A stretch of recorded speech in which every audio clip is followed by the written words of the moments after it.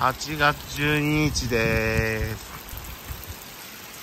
やばいっすね。めちゃくちゃ雨降ってます。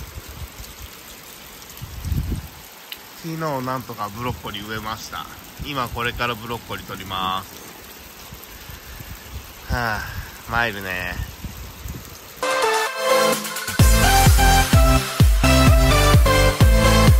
杉山農場。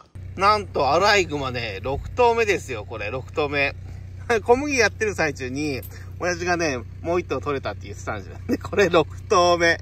今年6頭ですよ。まだアライグマいるんですね。やばいですねアライグマ。これちょっとスタイリッシュな顔してますねこのアライグマは。杉山農場。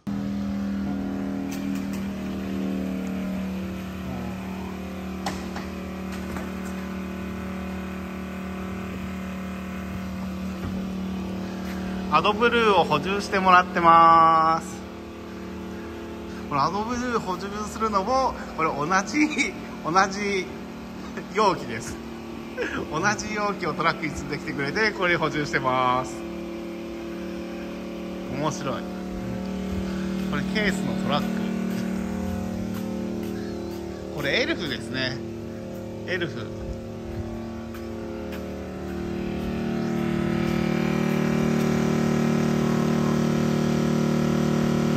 杉山農場じゃじゃーん、雪の妖精です。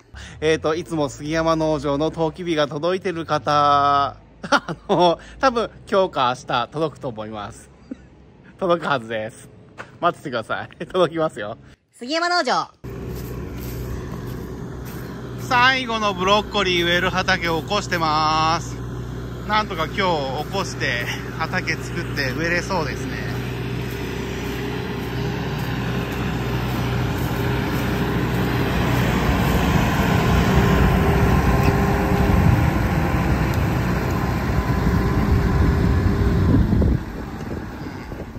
もうね、かなりしけてるけどね、もう仕方ないですね。なんとか、今朝畑起こしてロータリーかけたよ。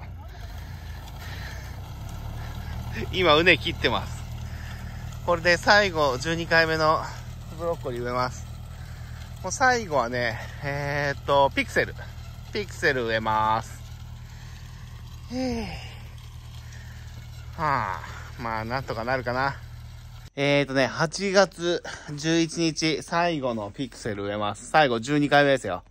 12回目のピクセル。また今晩ね、雨の予報。また明日の朝雨の中ブロッコリー取らなきゃやんない。嫌になっちゃうね、本当に。はあ、なんとか、なんとか最後のピクセル植えてます。なんとか植えれてます。結構ね、もう、土のかぶりが悪いですね。でもうこんな、ゴロゴロこんななっちゃってさ。でもなんとかなんとか走れてますよみたいなこんな感じで。なんとかなってるかな。なんとか植えれてます。杉山農場。